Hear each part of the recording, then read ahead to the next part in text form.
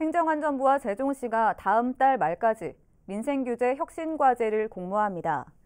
공모 내용은 일상생활 속에서 제약이 있거나 불편이 발생한 사항에 대한 개선안을 제안하는 것으로 단순 건의나 민원 등은 응모에서 제외됩니다.